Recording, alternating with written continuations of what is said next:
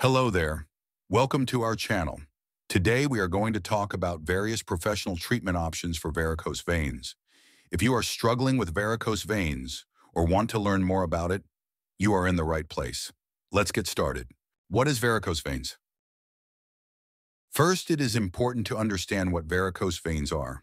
Varicose veins are enlarged, twisted veins that can be seen just below the surface of the skin, typically in the legs. This condition occurs when the valves in the veins malfunction, causing blood to flow backwards and pool in the veins. Varicose veins are more than a cosmetic problem. They can cause pain, swelling, and even serious health problems. Overview of treatment options. There are various treatment options for varicose veins. These methods vary depending on the patient's condition, the severity of varicose veins, and general health status. Let's examine these treatment methods one by one. Sclerotherapy. Sclerotherapy is one of the most common treatments for varicose veins. This method is particularly effective for small and medium-sized varicose veins. How is it applied? During sclerotherapy, a sclerosing substance is injected into the varicose vein using a thin needle. This substance irritates the vein walls, causing them to stick together and close. Over time, the closed vein is absorbed by the body. Advantages and disadvantages. Sclerotherapy is a minimally invasive procedure and usually does not require anesthesia. There is a short recovery period after the procedure. However, multiple sessions may be required, and some patients may experience temporary side effects. Laser therapy, and endovenous laser ablation.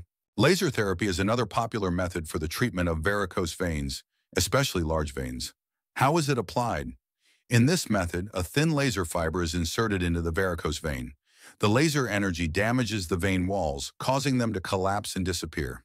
Advantages and disadvantages, laser treatment is a minimally invasive procedure with a high success rate. It does not require general anesthesia, and patients can usually return to normal activities the same day. However, mild pain and bruising may occur during and after the procedure.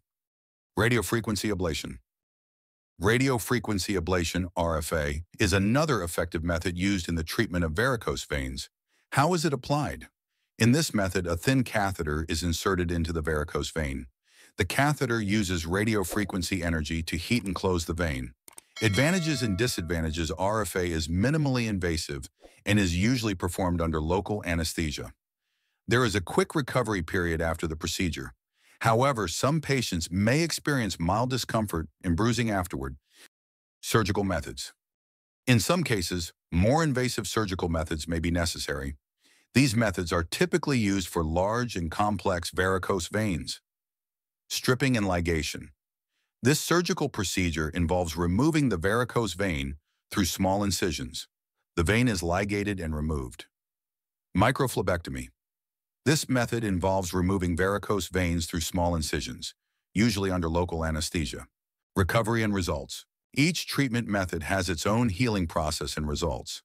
Patients can achieve a faster and smoother recovery by following their doctor's advice. Typically, the use of compression stockings, regular exercise, and maintaining a healthy lifestyle are recommended after treatment. There are many options for the treatment of varicose veins, and the most appropriate treatment method depends on the patient's specific situation. If you suffer from varicose veins, Consult a specialist to determine the best treatment option for you. Remember, your health is the most important thing. Today, we have discussed the professional methods used to treat varicose veins. If you liked our video and found it useful, don't forget to like and subscribe to our channel. See you in the next video. Stay healthy